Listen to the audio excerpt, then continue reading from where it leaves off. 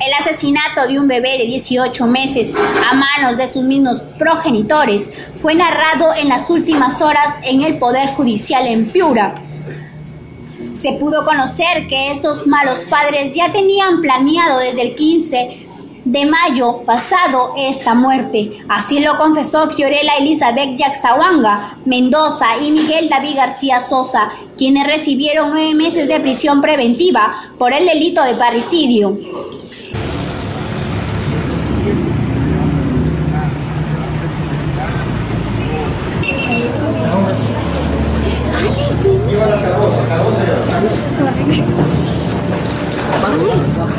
De acuerdo a las acusaciones del Ministerio Público, García Sosa habría intentado meses atrás asfixiar en dos oportunidades a su hijo. No, digamos, no está en la obligación de, entre comillas, colaborar con una sentencia penal, no está en la obligación de colaborar, pues, supuestamente, hacer una autoinculpación. Entonces, eh, eh, si la argumentación patrocinado es justamente estar negando los cargos, ¿no es cierto?, porque él se considera inocente, y él se encuentra acá vinculado de alguna manera solamente por la declaración de su, de su pareja, su cónyuge, yo no creo que esa declaración de ella no pueda vincular a él. Ahora, por otro lado, eh, otro punto importante, señor juez, que usted tenga en cuenta es el hecho, digamos, del plazo razonable de la prisión preventiva. Ya todos aceptado de que la formalización de la investigación es una especie de hoja de ruta de lo que el fiscal quiere probar, de lo que el fiscal más o menos necesita el plazo para llevar a cabo su investigación. El pasado 2 de junio, García habría llevado al menor a la urbanización Ignacio Merino, lo habría sentado, luego sacó su camisa azul y lo envolvió y le presionó el rostro al bebé. Solo tardó 10 minutos para dejarlo sin vida, según sus narraciones, y después se lo entregó ya difunto a su madre.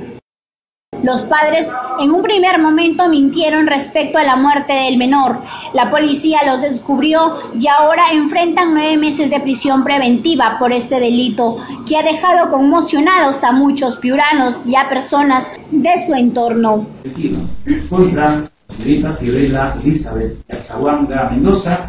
Contra el joven Miguel David García Sosa, presuntos autores del delito de parricidio la menor.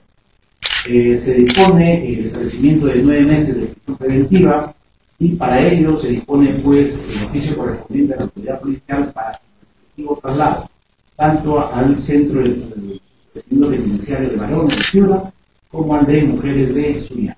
Esta es la decisión. Personal policial de la Divincri tiene más datos reveladores.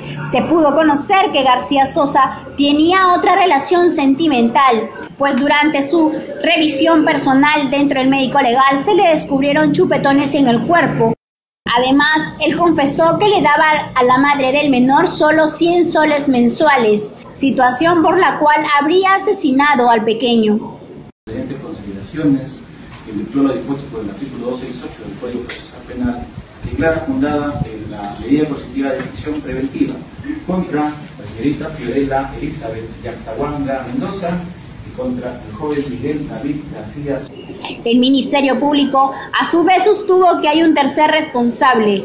A ese sujeto ya habría sido identificado por los padres acusados y sería capturado en las próximas horas. ¿Qué pasó? ¿Por qué mataron a bebito?